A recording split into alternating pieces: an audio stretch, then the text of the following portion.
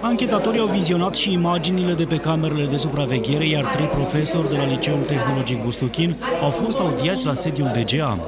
Nu s-a fraudat. Dacă se fraudau, luau note de 10, da, copiii luau, intrau la licee bune. Sunt suspiciuni în desfășurare, nu știm pe ce motiv, că încă nu am un înscris care să îmi arate motivul, dar am auzit, fiind la Timișoara, în concediu, că trebuie să vin. Și am venit. Paralel cu acțiunea polițiștilor și conducerea inspectoratului școlar a început propria anchetă. Sigur vor discuta și cu cei de la Dan Bustuchin. Dar oricum e mult mai important uh, ancheta pe care o face poliția acolo decât uh, ceea ce facem noi. Ușor, da? Ieri la sediul DG au fost aduși 36 de elevi și părinților care timp de câteva ore au fost și ei audiați. Deocamdată oamenii legii nu au adus învinuiri, ci fac doar cercetări în cauză.